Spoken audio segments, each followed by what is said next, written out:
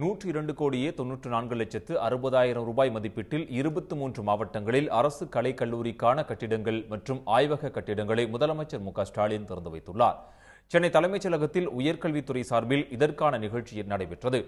அப்போது தமிழ்நாட்டில் இருபத்தி மூன்று மாவட்டங்களில் அரசு கலை மற்றும் அறிவியல் கல்லூரிகள் அரசு தொழில்நுட்ப கல்லூரிகள் பல்கலைக்கழகங்கள் அறிவியல் மையம் ஆகியவற்றில் நூற்றி இரண்டு கோடியே தொன்னூற்று நான்கு லட்சத்து அறுபதாயிரம் ரூபாய் மதிப்பீட்டில் கட்டப்பட்டிருந்த வகுப்பறை கட்டிடங்கள் ஆய்வகங்கள் பல்நோக்கு கூடம் கூட்டரங்கம் கழிப்பறைகள் விடுதிகள் பணியாளர் அறைகள் புத்தாக்க மையம் ஆகியவற்றை காணொலி காட்சி வாயிலாக முதலமைச்சர் மு ஸ்டாலின் திறந்து வைத்தார்.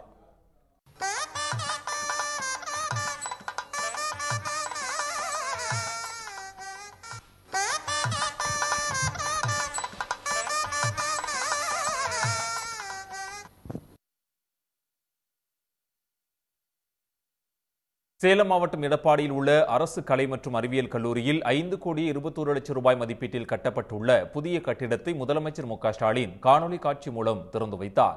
இதையடுத்து பெரியார் பல்கலைக்கழகத்தின் துணைவேந்தர் ஜெகநாதன் கல்லூரி வளாகத்தில் உள்ள புதிய கட்டிடத்தில் குத்துவிளக்கேற்றி சிறப்பித்தார். காணொலி காட்சி மூலம் முதலமைச்சர் திறந்து வைத்தது மகிழ்ச்சி இருப்பதாக மாணவ மாணவிகள் மகிழ்ச்சி தெரிவித்துள்ளனர். இதேபோன்று இருபத்தி மூன்று மாவட்டங்களில் கட்டப்பட்டுள்ள கல்லூரிக்கான கட்டிடங்களை முதலமைச்சர் காணொலி வழியாக திறந்து வைத்தார். உடனுக்குடன் செய்திகளை தெரிந்து கொள்ள சன் நியூஸ் பெல் கிளிக் பண்ணுங்க.